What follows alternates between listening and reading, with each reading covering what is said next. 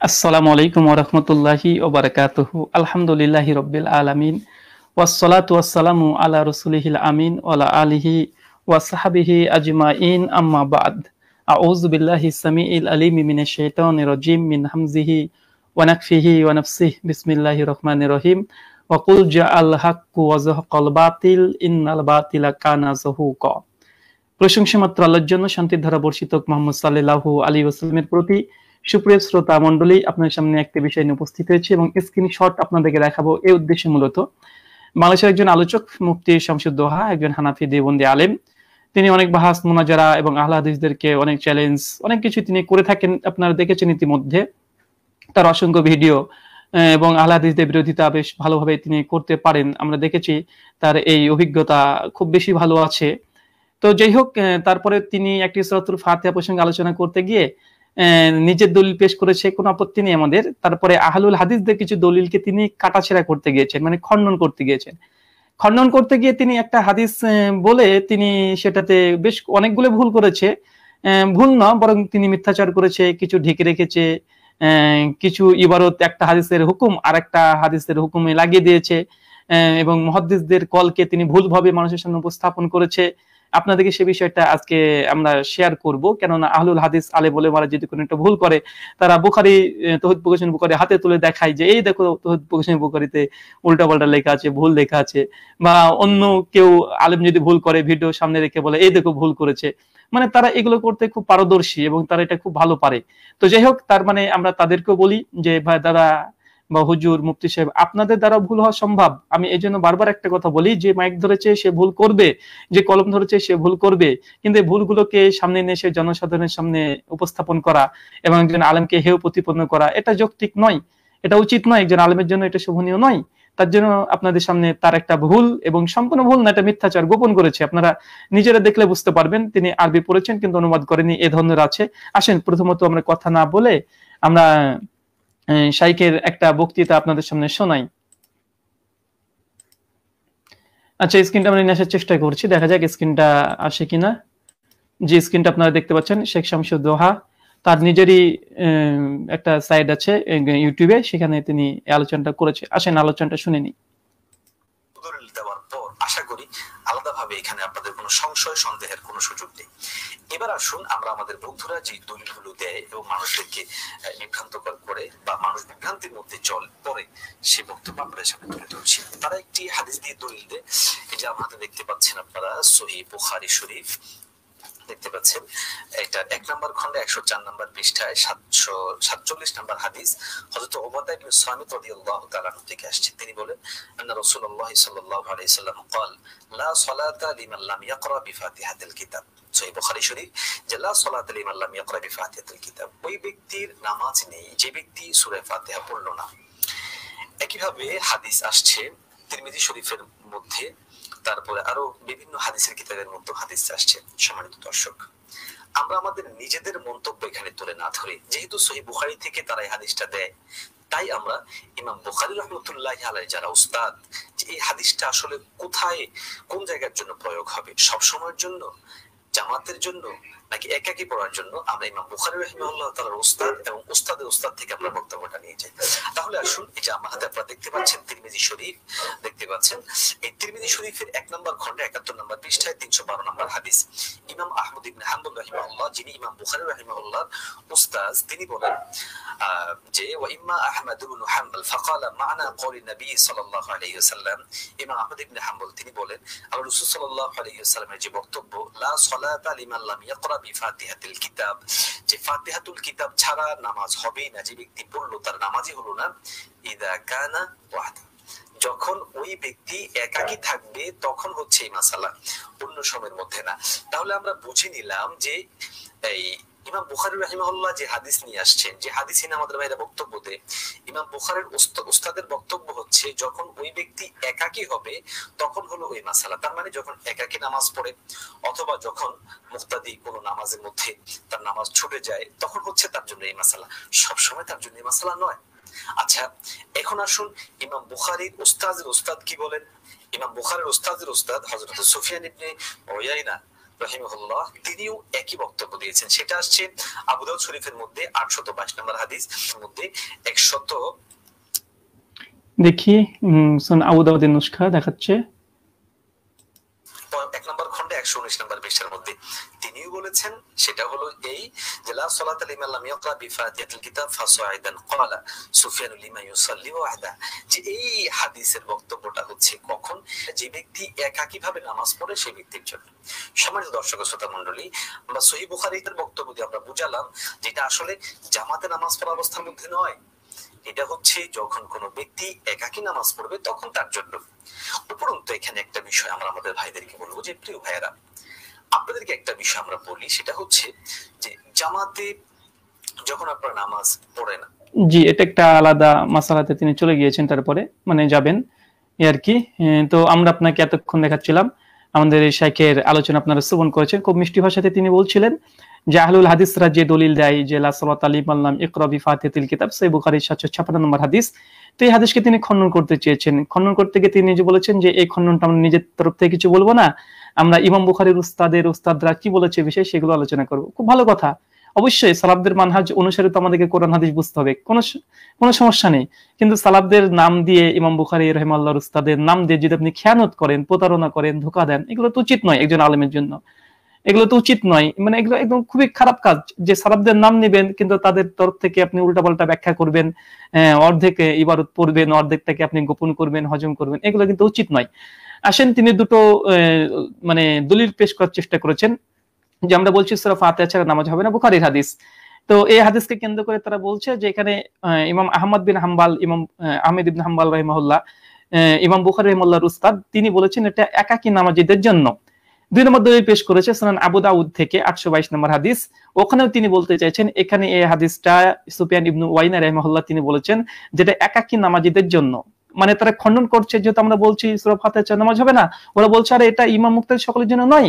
এটা মূলত শুধুমাত্র একাকী নামাজ যখন পড়বে, তখন সরতুল ফাতেহা পড়তে হবে, কিন্তু জামাতে নয়। তাই তারা দুজন মহাদিসের উপরে নির্ভর করেছে।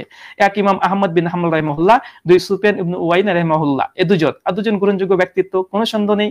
মানে একদম যারা পরিমাণে সন্দেহ নেই। তো আসেন আমরা কিতাব দেখা শুরু করি। তিনি কোথায় কোথায় খেয়ানত করেছে আপনারা বুঝতে পারবেন। আসেন আমি কিছু আপনাদেরকে কিতাব দেখাবো। কিছু কিতাব দেখাই আপনাকে। আমরা স্ক্রিনে কিছু কিতাব নিয়ে আসার চেষ্টা করছি। দেখা যাক কতক্ষণ লাগে। হ্যাঁ আমরা চলে এসেছি। জি, আপনারা দেখছেন প্রথম সহি বুখারিটা আমি দেখাই, যে হাদিসটা আমাদের দলিল। ইমাম বুখারি দেখেন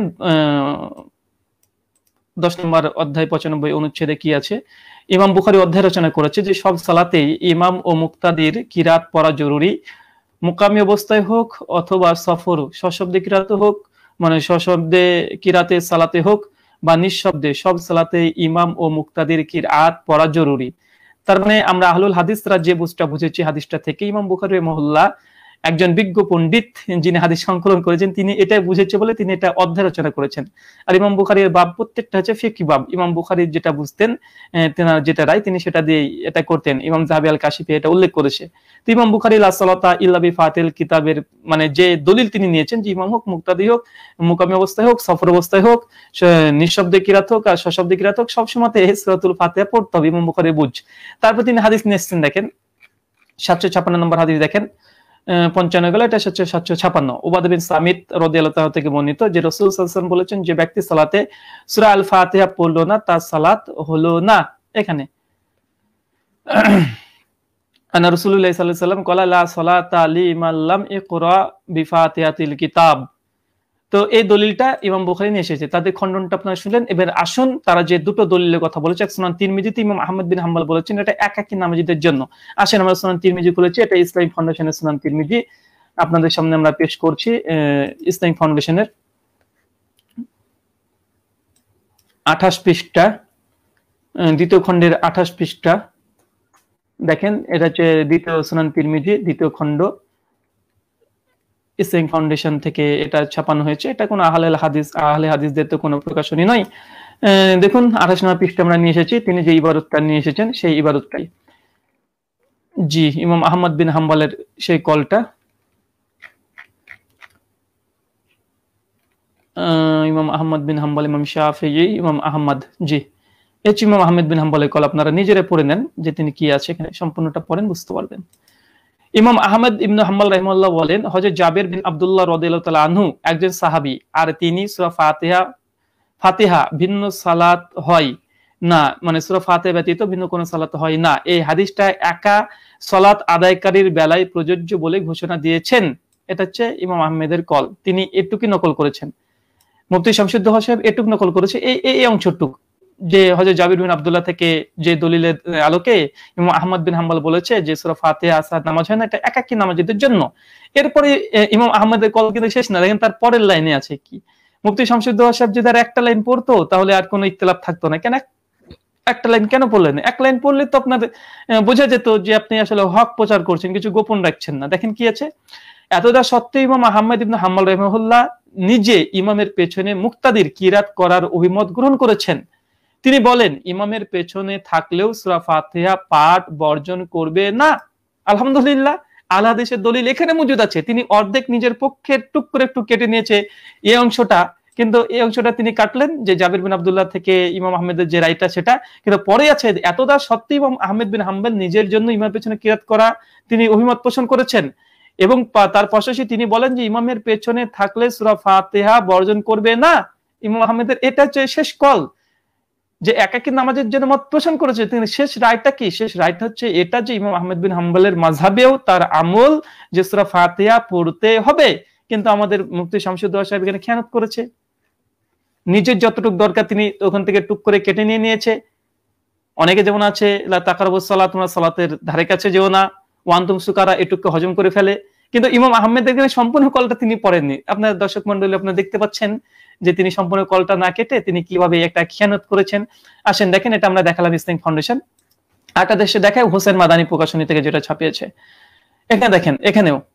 যে ইমাম আহমেদ ইবনু হাম্বাল রহমল্লাহ বলেন যে জাবের রদালু ছিলেন রসুল সাল্লাহ সাল্লামের একজন সাহাবি আর তিনি তার হাদিস যে যে সুরাতুল ফাতেহা পাঠ করেনি তার নামাজ হয়নি।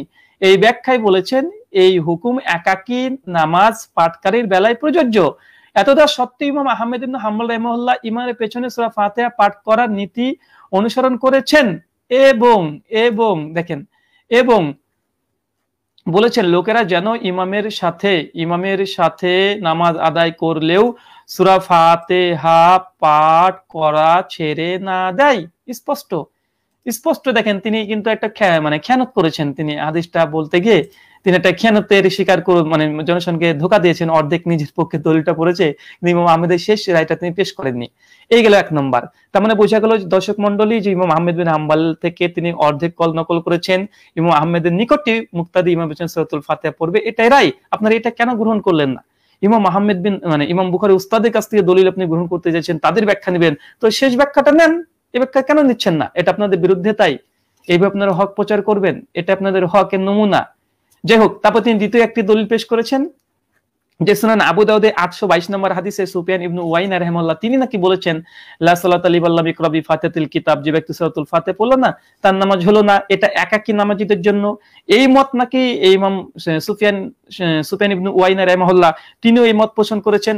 আসুন আমরা দেখি যে তিনি এখানে খেয়ানত কি করেছেন। জি না, এই কথা, এই হাদিসে সুফিয়ান ইবনু ওয়াইন রহমাল্লাহ তিনি মত পোষণ করেননি, এটা ধোকা দিয়েছে। দেখেন আমরা সোনান আবু দাউদ নিয়ে আসছি আপনাদের সামনে। সোনা আবু দাউদ এটা ইসলামিক ফাউন্ডেশন আমি আপনাদের দেখাই। সুনান আবু দাউদ। সুনান আবু দাউদ দেখছেন? সুনান আবু দাউদ ইসলামিক ফাউন্ডেশন থেকে ছাপা। দ্বিতীয় খণ্ড। আটশো বাইশ নম্বর হাদিস। আটশো বাইশ নম্বর হাদিস আমরা নিয়ে আসার চেষ্টা করছি। আটশো বাইশ নম্বর হাদিস আপনাদের সামনে নিয়ে আসার চেষ্টা করছি। দেখা যাক কি আছে সেখানে। আটশো আঠারো, আটশো উনিশ, আটশো একুশে চলে এসেছে, আটশো বাইশ। জি, আলহামদুলিল্লাহ চলে এসেছে। এই হাদিসটা তিনি পেশ করেছেন, দেখেন। এই হাদিসটা তিনি পেশ করেছেন আটশো বাইশ নম্বর হাদিস। দেখেন কলা, লা সালাত লিমাল্লাম ইকরা বিফাতিহাতিল কিতাব। তারপরে শব্দ কি আছে? ফাসইদান কলা, সুফিয়ান লিমান ইউসাল্লি ওয়াহাদা। পরিষ্কার এখানে দেখেন যে হাদিসের ইবারত তিনি বলেছেন যে কিতাব। হাদিস এখানে শেষ নয়। তারপর যে ফার্স্ট ইদান যে ব্যক্তি সুরা ফাতেহা পড়ল না এবং তার সঙ্গে অতিরিক্ত কিরাত করল না। এই যে ব্যক্তি সুরা ফাতেহা পড়ল না এবং অতিরিক্ত একটা কিরাত করল না, তার নামাজ হলো না। এই হাদিসের কমেন্টারিতে ব্যাখ্যাতে কলা সুফিয়ান সুফিয়ান রহিমাহুল্লাহ তিনি বলেছেন যে, ইউসাল্লি ওহাদা এটা হচ্ছে একাকী নামাজিদের জন্য। দেখেন অনুমাদ দেখেন ফাউন্ডেশন কি করেছে? কুতাবিন সাইদ থেকে বর্ণিত আছে যে উবাদাবিন সামিত হতে বর্ণিত যে হাদিসের সনদ সনদ রসুল সাল্লাম পর্যন্ত পৌঁছেছে মানে মারফু। তিনি বলেন, যে ব্যক্তি সুরা ফাতিহা এবং তার সাথে অতিরিক্ত কিছু পাঠ করল মানে পাঠ না করবে, তার নামাজ পূর্ণাঙ্গ হবে না। বখর মুসলিম রেফারেন্স তারপর দেখেন, রাবি বলেন মানে সুফিয়ান, রাবি বলেন, এই নির্দেশ কেবলমাত্র একাকী নামাজিদের জন্য।